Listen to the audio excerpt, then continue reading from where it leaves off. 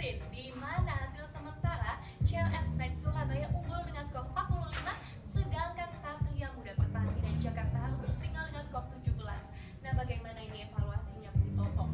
Bagaimana kita sama-sama melihat bahwa Satria Muda Pertamina sepertinya agak loyo ini di pertandingan kuarter 1 dan 2. Ya, mereka bertanding dengan hanya kemauannya, tapi fisiknya sudah lelah.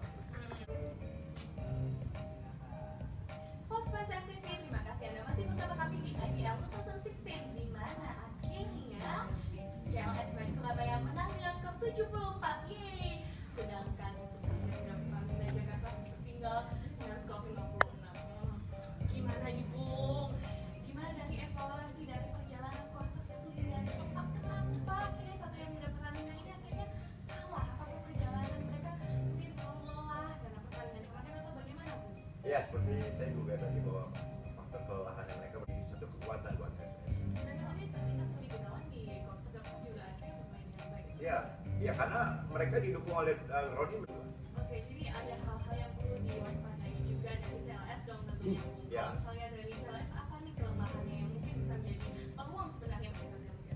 Ya, kelemahannya uh, kecuali jamar jangan sakit mungkin. Begitu ya Bung ya. Iya, artinya apa? CLS ini Melihat bahwa break point total yang dikumpulkan oleh CLS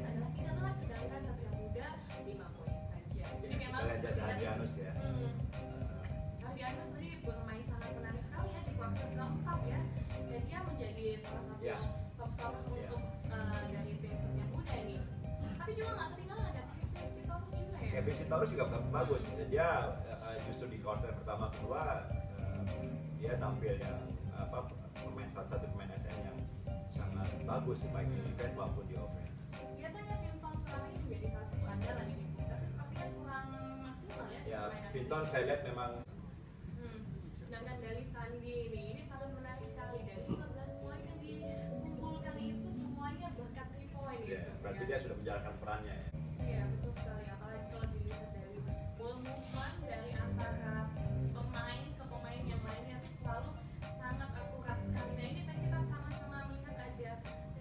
Iya, ini unsport- unsportsman foul yang dilakukan oleh pemain SM uh, Riza. Saya pikir itu satu usaha yang bagus ya. Betul. Uh, uh, artinya sebagai pemain dia punya tanggung jawab untuk melakukan uh, apa uh, terhadap ringnya. Uh, Iya. Hanya sayang kalau menurut saya itu kurang keras. ya, Jamal dengan Iya. badannya dan Iya. energinya dia ya. Tapi tadi sempat karena itu akhirnya Jamal bisa memegang skor melewati Oh, itu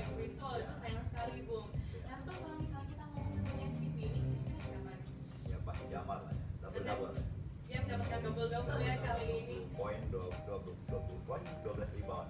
Oke, untuk dari evaluasi dari tim Satria Muda ini gimana? Ya itu yang saya katakan bahwa Coach Win di sini bangkit dengan pemain-pemain cadangan